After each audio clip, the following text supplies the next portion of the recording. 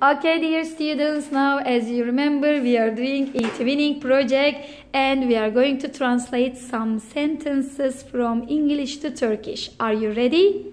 Yes. Okay, the first word is my name is. Benim adım. Good. Enjoy your lunch. Afiyet olsun. My favorite.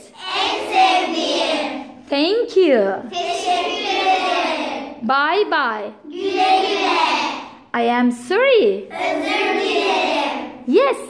Evet. No. Hayır. How are you? Nasılsın? Good morning. Günaydın. Good afternoon. Günaydın. Good evening. İyi akşamlar. Goodbye. Görüşürüz. Good night. İyi geceler.